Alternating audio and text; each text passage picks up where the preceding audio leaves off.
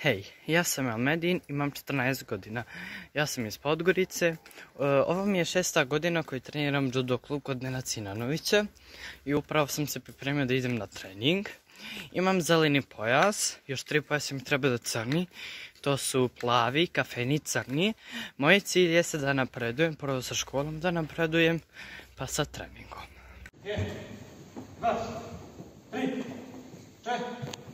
Eto, vidjeli ste šta je moj cilj.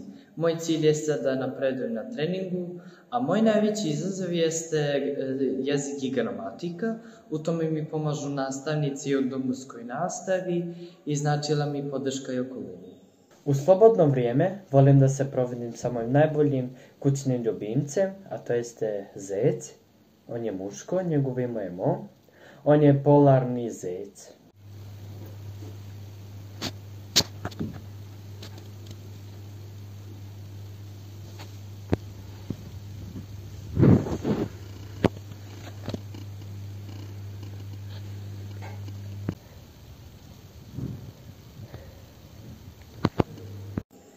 Ovo je moj život, pokaži mi svoj.